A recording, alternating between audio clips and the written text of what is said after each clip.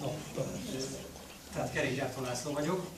Itt az előbb említettétek, elnézést, a, a jogi hatalmat, tehát a behajtás részét, de ezt csak érintőleg említettük.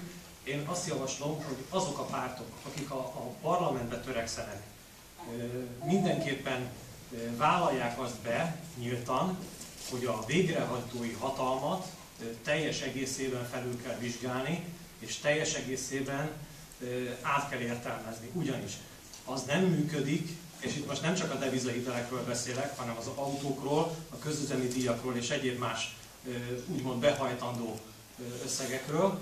Tehát az nem működik, hogy valakinek van egy, egy, egy autóhitele, aminek a sokszorosát kéne, hogy befizesse, nem tudja befizetni, mert esetleg elveszett a munkája, és elviszik a házát, a lakását.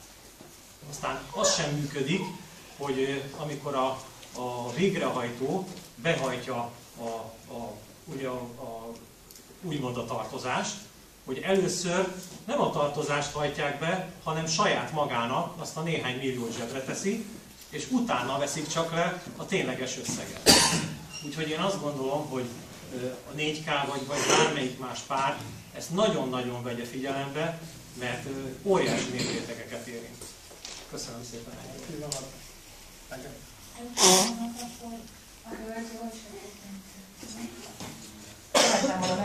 Kérdésem lenne azért úgy általában. Jó, utána. Sorban mindenki szeretem volna megszólalni, nem most, hanem később.